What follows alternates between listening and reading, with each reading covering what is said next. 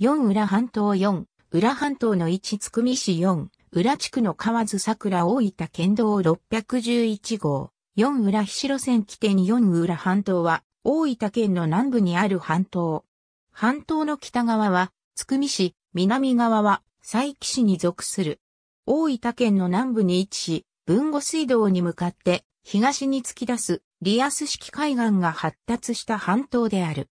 山がちで集落は沿岸部に集中しており、この半島の両線付近を境に、半島の北半分は、つくみ市、南半分は、佐伯市に分かれる。半島の北側には、つくみ湾、南側は、佐伯湾が広がる。半島の突端には、マグロの遠洋漁業の基地として、有名な穂島が浮かぶ。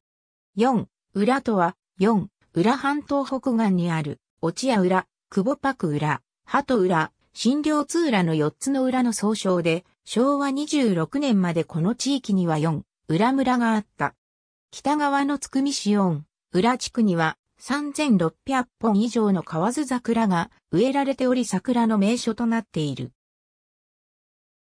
南側の佐伯市には、夫婦岩で有名な文後二見ヶ浦、海水浴場百選に選定された世界海水浴場がある。